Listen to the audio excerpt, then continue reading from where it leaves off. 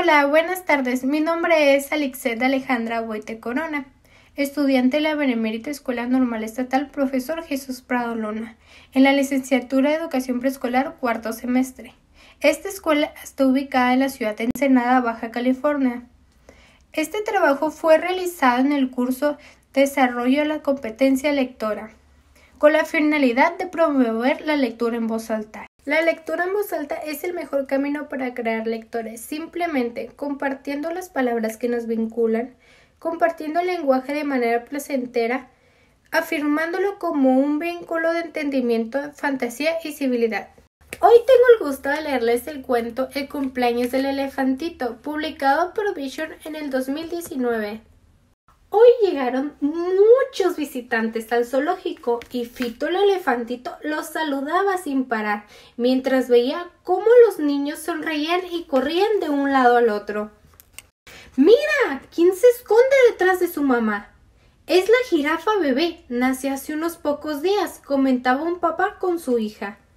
Miren, los monitos no paran de jugar en ese pasamanos, se están divirtiendo mucho, gritaban los niños mientras los miraban y aplaudían con mucho asombro. Un poco más lejos, dos grandes leones bostezaban sobre una enorme roca, mientras dos cachorritos jugaban en el verde pasto. A los pingüinos les encantaba verlos, pero más les gustaba brincar y nadar en el agua. A Fito el elefantito le encantaba saludar a todos sus amigos, porque ya formaban parte de su familia, puesto que todos eran sus vecinos en el zoológico. Sus enormes y fuertes padres siempre lo cuidaban. Estaban muy orgullosos de él, porque era amable y respetuoso con todos. Pero hoy era un día muy especial. Hoy era el cumpleaños del pequeño Fito.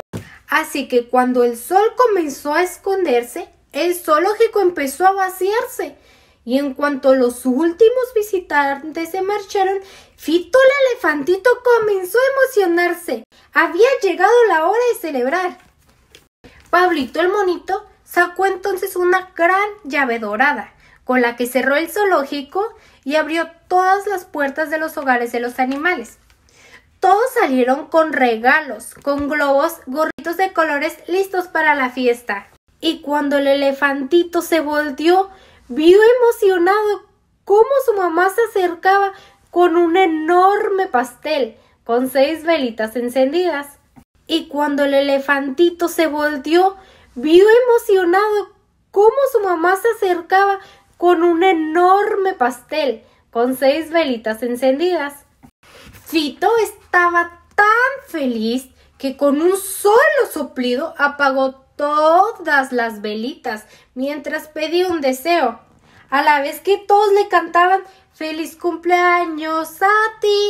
El pequeño elefantito abría feliz los regalos mientras su mamá repartía el pastel entre los invitados. Esta noche Fito el elefantito se durmió más feliz que nunca, pensando en lo afortunado que era de tener tantos amigos, aunque muchos fueran tan diferentes a él.